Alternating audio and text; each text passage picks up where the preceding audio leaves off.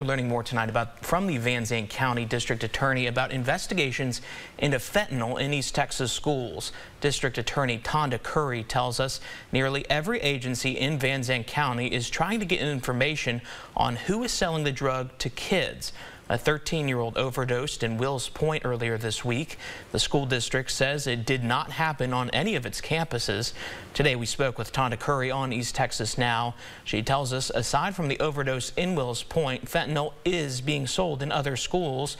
But Curry says right now they are not ready to share any specifics about which schools.